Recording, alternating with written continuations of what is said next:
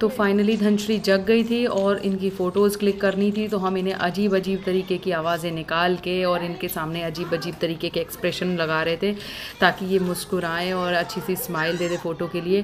But Dhanashree पे ऐसा उतना असर पड़ नहीं रहा था तो मैंने कीज़ को भी जो है झंझना के देखा बट धनश्री को उतना पसंद नहीं आया। उसके बाद मैंने वो कीज़ थोड़ी देर बाद उसी को दे दी थी खेलने के लिए।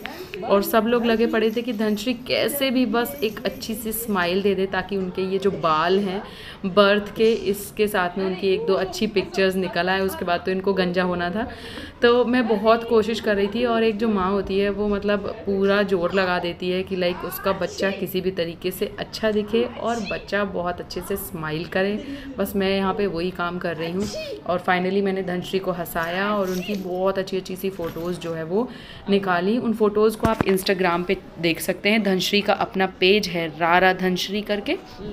और ये बार बार कैमरे को अपने से छेड़ रही थी तो मैंने इनको दूर कर दिया था कैमरे से और आपको बता दूँ, आप सोचोगे कि ये छोटी छोटी क्लिप हैं और कुछ इस तरीके से रिकॉर्ड की गई हैं तो ये मैंने रिकॉर्डिंग नहीं की है। जो एक्चुअली जो भैया फ़ोटोज़ खींच रहे थे, जिनको बुलाया था फ़ोटोग्राफ़र को, उन्हीं को दे दिया था। हमने अपना कैमरा गोप्रो तो उन्होंने जितनी क्लिप बना पाए वो साथ में ही तो उतनी क्लिप आपको इसमें देखने को मिलेंगी। बाकी जो मैंने मेरे भतीजी से और मेरी बहनों से जो अपने फ़ोन में रिकॉर्डिंग कराई है ना, वो सारे क्लिप मैं अपलोड कर दूँगी।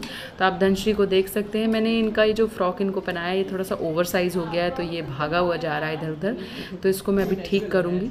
बट नेचुरली ये बहुत ही प्यारी लग रही थी और मुझे पता नहीं था, वरना तो मैं फिर इनके और भी आउटफिट निकाल के रखती तो इस रूम में सडनली वो आ गए थे फ़ोटोज़ क्लिक करने के लिए। फिर मैं थोड़ी देर बाद दूसरी जगह पे मैंने फ़ोटोज़ इनकी क्लिक कराई हैं।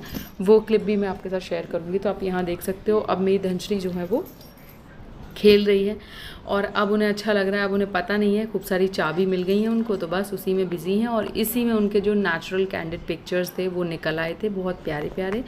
और अगर छींक की आवाज़ निकालो तो धनश्री को बहुत अच्छा लगता है, आछी आछी की आवाज़ निकालो तो बहुत हंसने लगती हैं।